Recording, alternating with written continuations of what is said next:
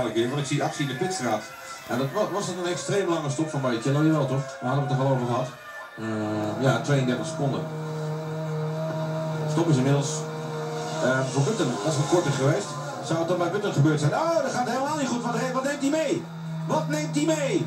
Jensen Button staat vol in de pitstraat. Heeft hij de hele tankinstallatie meegerost of niet? Nou, daar hangt nog van alles bij. Ja, de hele nozzel is eraf gebroken. Goeiedag! En wat waanzinnig dat daar geen brand uitbreekt. Hopla, terug met die, terug met die lollipop. Hij ramt hem zowat voor zijn kaders.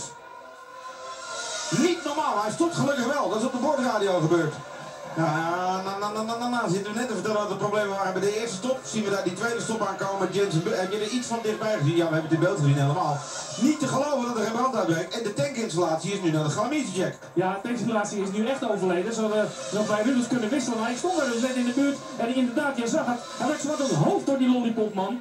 Ik snap er helemaal niks van waarom die dat ding opeens plat doet. Want hij hoort dat ding toch recht op je auto te zetten. Ja, ik denk dat het gewoon een paniekactie is geweest. Vier man erom. Je kunt het aan de linkerkant zien. Daar wordt het trekken. Lollipopman komt er nu bij. Die wacht, die wacht. In de versnelling. Oh, wat een fout. Een absolute fout van Lollipopman. Er was nog niet eens beweging bij de slang. Padaf! Daar wordt hij eraf getrokken. Vier monteurs op de grond. Uh, even kijken of we zien of dat allemaal goed gaat. We zien wat medische mensen erbij. Maar volgens mij staat iedereen. Is het alleen maar hartslag 300.